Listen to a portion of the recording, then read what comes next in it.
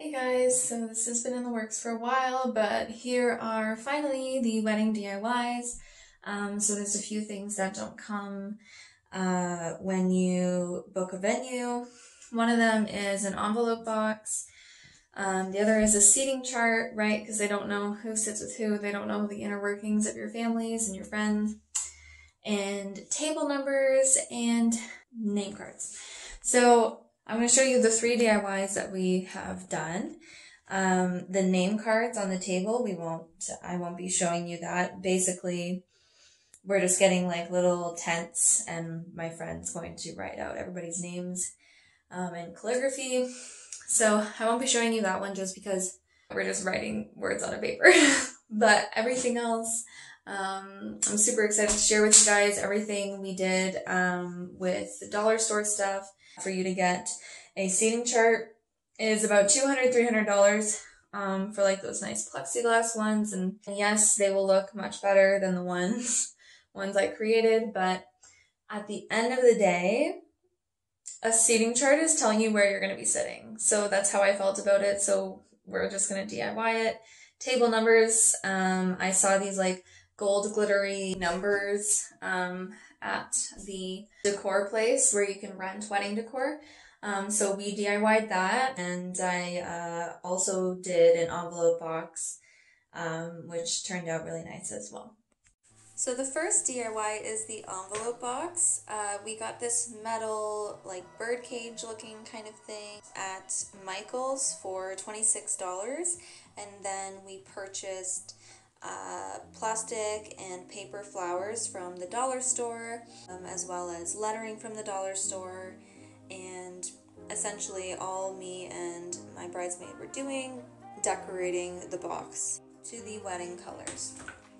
So this envelope box actually fits like a standard envelope uh, perfectly. I'm going to be getting something a little bit smaller. I'm going to be providing envelopes and pens for our guests just because at the last wedding we went to, everybody forgot cards, not the money, cards. So, and same with me and Alex. So we had to give our gift after, which is not ideal. So I'm going to be providing envelopes and pens uh, for our guests.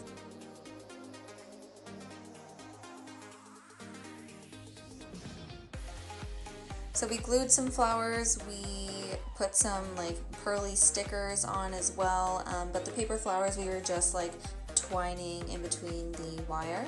And this is the final product. It's super cute. I think it turned out so, so well, and I absolutely love it. I love the colors, and I love the Mr. and Mrs. And yeah, I think we did an awesome job.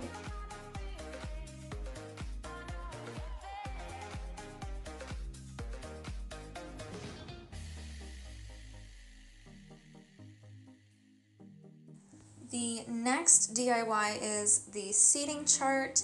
So essentially I'm making like a clothesline to pin uh, different tables onto this frame. So we painted this frame white, it came black. There's a section in Michael's where they have discount frames because they're asymmetrical. So I got this frame for $11. I got white paint from the dollar store for a dollar, sponges from the dollar store for a dollar, and we just sponged on white paint. We did a few layers and now I'm just taking twine.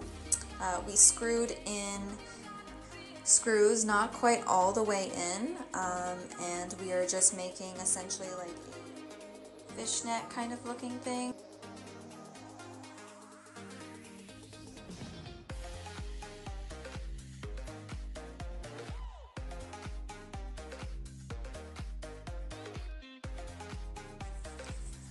So now that we have gone one way with the twine, uh, we're putting screws um, the other way and I ended up overlapping under, over, under, over through the existing twine. You don't have to do this, I just thought structurally it would be a little bit more taut um, for when we pin things on. So yeah, you can see me going under, over here. So to get this professionally done on Etsy on like a plexiglass, that's like a huge thing right now, is like $200, $300 and for me, that's just too much money for something that tells you where your guests are sitting. So yeah, I'm perfectly okay with my DIY even though it might not look as nice. And yeah, when you flip it over the frame, like it looks just so neat and tidy. So I blurred out everybody's names for obvious reasons, but I'm mapping out what we're going to be doing, and then we decorated with flowers and pins, just like the other one. And again, I, this doesn't look that aesthetic because I had to wipe out people's names, but you get the picture. This is kind of what the idea is.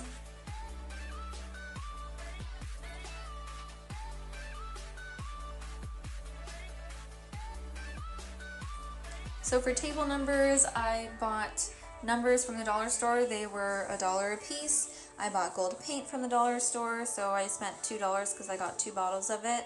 And sponges were a dollar, and me and Alex just spent like three hours painting these things. It did take quite a bit of time, um, but the end result was really nice. You can see like it's super shiny and just elevates those numbers a little bit. These numbers to rent were $10 a piece, so definitely worth it to do this DIY on your own as well. And this is the final product. It's to look super sleek. We're to have the white and burgundy flowers and the gold numbers, and it's to look really, really cool. Um, I also have some gold candle holders that will be going on the table, and yeah, this is what it looks like.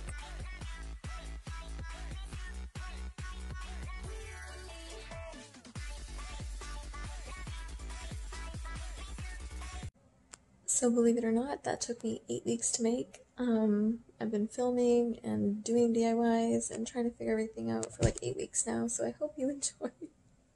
it's easily my hardest video that I've made so far, but hope you guys liked it. If you guys need anything else or want to see anything, please let me know. Thank you for liking, subscribing, and watching, and I will see you guys soon.